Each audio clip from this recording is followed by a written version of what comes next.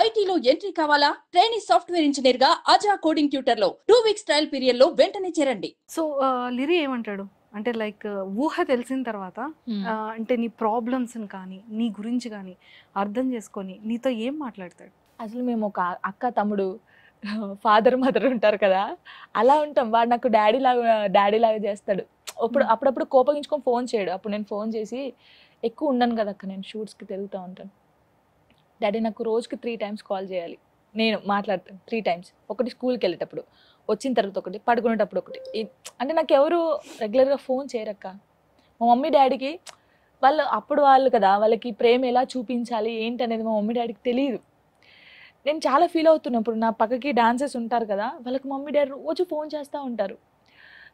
మా మమ్మీ వాళ్ళు ఫోన్ చేయరేంటి నాకు? అని చాలా ఏడ్చేదాన్ని నేను. అప్పుడు లిరి నా రిక్వెస్ట్ చేశాను. నాకు ఫోన్ చేయ డాడీ రోజు అంటే స్కూల్కి వెళ్ళేటప్పుడు చేస్తాడు. వచ్చిన తర్వాత చేస్తాడు పడుకునేటప్పుడు చేస్తాడు. అప్పుడప్పుడు చేయలేదనుకో నేను ఫోన్ చేసి ఏడుస్తాను. ఏంది లిరే నాకు ఉంది నువ్వే కదా చేయట్లేదంటే. చేస్తానమ్మా ఎందుకు చేయను? మర్చిపోయాను. ఇలా అంటాడు. కానీ నేను ఏడుస్తాను అనుకో పట్టేసుకుంటాడు అక్క నన్ను. ఏడ్ ఏడుపంతా అయిపోయేదాకా పట్టేసుకొని ఏడోక జానమ్మా నేను ఉన్నాను కదా. ఎవడేమన్నాడు చెప్పు ఇప్పుడు. అలా రియాక్ట్ అవుతాడు. ఎవడేమన్నాడు? వాని సంగతి చెప్తాను నేను పోలీస్ అయ్యి గన్ను బట్టి కాలుస్తాను వాడిని నేను. రాసుకుంటాను డాడీ పేర్లన్నీ. ఎవడేమని అంటున్నాడు ఆ పేర్లన్నీ రాసుకుంటాడు. వాళ్ళందరూ నువ్వు కాల్చి పడే చాలా ధైర్యం ఇస్తారు లిరి నాకు. నేను ఉన్నాను కదా. ఏమంటాడు తెలుసా? లిరి పెళ్ళి చేసుకొని వెళ్ళిపోతావు కదరా? నన్ను వదిలేస్తావు కదరా? అని అంటే నువ్వు అట్లా అంటే నేను పెళ్ళే చేసుకొని అంటాడు. సీరియస్గా అక్క వాడు నేను అసలు పెళ్ళే చేసుకుని అలా అంటే నాకు పెళ్ళొద్దేమొద్దు అంటాడు. ఇప్పుడు ఎంత ఏజ్? వానికి ఇప్పుడు టెన్ ఇయర్స్ అక్క. టెన్ ఇయర్స్ ఫిఫ్త్ క్లాస్ వాడు. ఫిఫ్త్ క్లాస్ చదువుతున్నాడు. మ్మ్. అసలు నార్మల్ వాడు అమ్మో అక్కడ అబ్బాయిలు ఉన్నారంటే ఒకవేళ నేను నైట్ డ్రెస్ వేసుకొని ఇట్లా బయటికి ఏం డ్రెస్ అది? బయటికి ఎందుకు పోతున్నావు? లోపల నడు అంటాడు సీరియస్గా అక్క.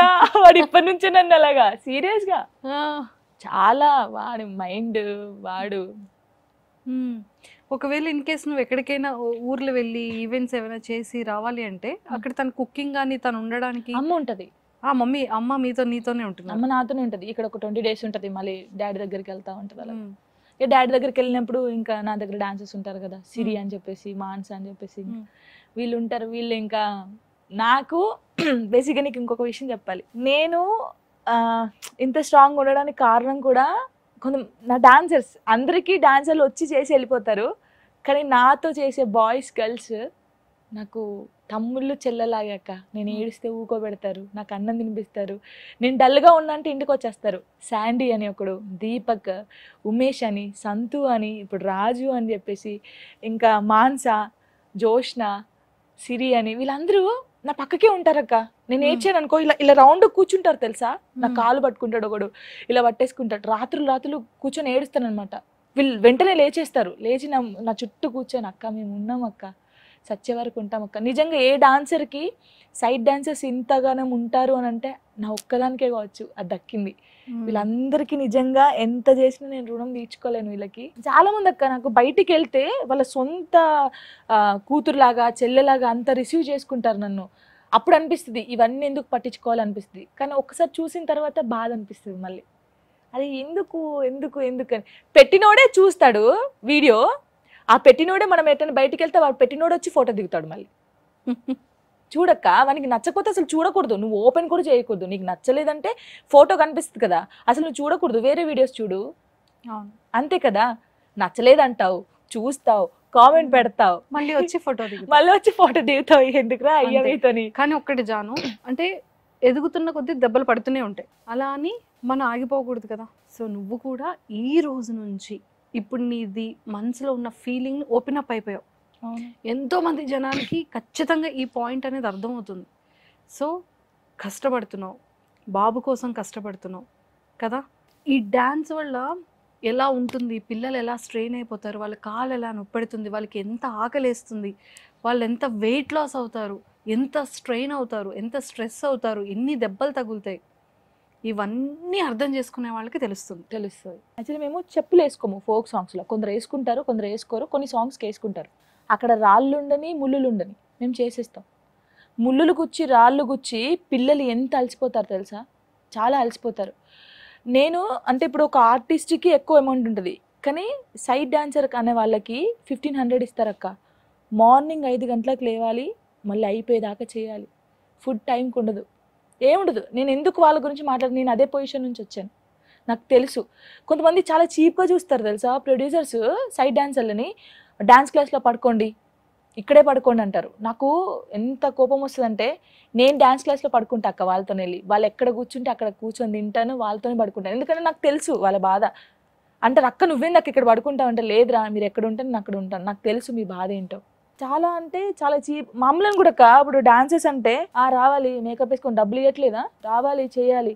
అక్క అంటే తప్పుగా అనుకోద్దు సింగర్స్కి అందంతో పని లేదు. నార్మల్గా ఒక యాక్టర్కి ఒక యాంకర్కి దీంతోనే పని. మనం ఇది ఎంత కాపాడుకుంటే మనకు అన్ని అవకాశాలు వస్తాయి. అంతే. సింగర్కి ఒక గొంతు ఉంటే సరిపోద్ది. వాళ్ళు నిల్చొని పాడతారు గంటలు గంటలు పాపం స్టూడియోలలో కానీ ఇక్కడ ఏం తెలుసా? ఎర్లీ మార్నింగ్ ఫైవ్ ఓ క్లాక్కి లేవాలి ఒక ఆర్టిస్ట్ మేకప్ వేసుకోవాలి. నీకు ఏ ప్రాబ్లమ్స్ ఉన్నాయో ఎవరు పట్టించుకోరు. వెళ్ళాలి చేయాలి. చాలా కష్టం అక్క. చూసే. వాళ్ళకి ఈజీ అనిపిస్తుంది కానీ ఈజీ కాదు. అది ఎంత కష్టపడి ఎన్ని మాటలు పడి ఇక్కడ దాకా వచ్చాము. ఇప్పుడు హండ్రెడ్ పర్సెంట్ అర్థమవుతుంది. సో అందరికీ కూడా అంటే ఒక్క జాను తరపు నుంచి అనే కాదు. పర్సనల్ రిక్వెస్ట్ ఏంటి అంటే కమెంట్స్ అనేది కొన్ని లైఫ్ని పాడు చేస్తుంది. అవును. కొంతమంది కపుల్స్ లైఫ్ని కొలాప్స్ చేస్తుంది. కొంతమంది డిప్రెషన్లోకి వెళ్ళిపోతారు.